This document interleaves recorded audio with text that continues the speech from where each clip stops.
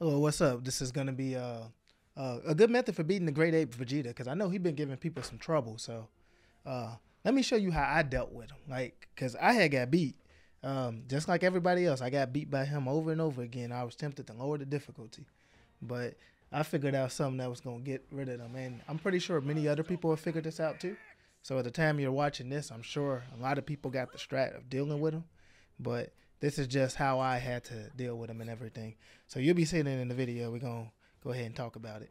All right, can we start the match? There we go. Okay, there go Great Ape Vegeta. So right now, there you go. He's spamming already. So we tried to dodge it, but we blocked it a little bit. So stay on the defensive. Just get out of the way. Just just move, move. And you see Goku's counter that's at zero right there. We're gonna move until we get to one. So keep keep just just keep living. Just just dodge. Okay, we got one. So now he grabbed us. We tried to like parry him and counter him. It didn't work. So anyway, let's get back. Let's get back. Let's start flying up. Let's remember that we can get some real estate in the air. Let's fly up. And now we got a better angle where we can dodge his stuff. If we on the ground, we can't. Get in the air, charge up, get to max ki if you can. He gonna try to bone rush you. And now that you're in sparking mode, just keep punching him. Just keep punching him. Don't try to do the fancy combos. I'm gonna try to do the fancy combos in the video, and as you can see, it ain't gonna work. So just keep pressing square on him. And look, he he fighting his hardest too. Try to dodge it. There you go. Now keep pressing that square on him. Get him with that square. You can see he he getting he buckling. He buckling over there. So now we got two. So we're gonna keep going back up into sparking. Hey, I'm not proud of it, but this how I had to deal with this guy. Look, dodge him. Well, I got hit by that one. But anyway, you gonna go back into sparking right now? Come on, Goku.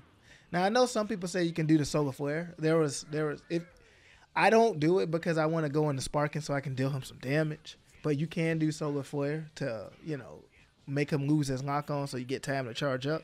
So if you got a whole bunch of ki, go for it. But as you can see, we just keep punching this guy. Just keep punching him. Keep punching him. All right, he backing off. Charge. Get going back into sparking. There we go. He didn't even get a chance to get up. Let's get this guy. So you stay in the air and you do sparking on him, and there's nothing he can do about it. He just got to take these L's. Come on, Vegeta. Come on, Vegeta. Rinse and repeat. Get him out of here, man.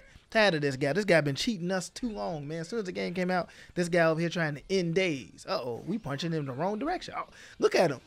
Okay, I still got up out of there though, man. I wasn't that much not paying attention. All right, anyway, here I go.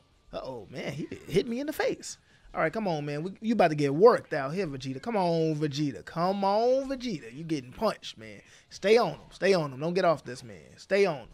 Stay on him until he go down. Here come a kick from Goku. He gone. And that's how you get rid of Vegeta.